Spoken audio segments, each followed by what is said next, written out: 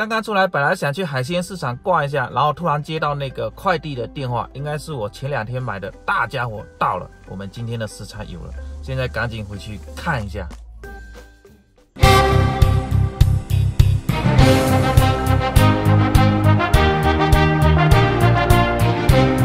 哇，好大一箱子啊！快递直接放在我门口了。哇，这个有一点重啊。Hello，大家好，我是你们的小文哥，欢迎来到本期视频。今天又来了一个大货，不用我多说，看标题的小伙伴都已经知道了。没错，就是金枪鱼，金会在燃烧，我的心在滴血啊！兄弟姐妹们，三连走一波，大幕花一波，那咱们的开箱仪式正式开始。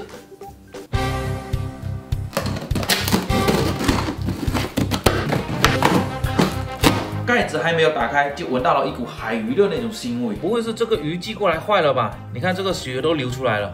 我打开来看一下，见证奇迹的时刻到了。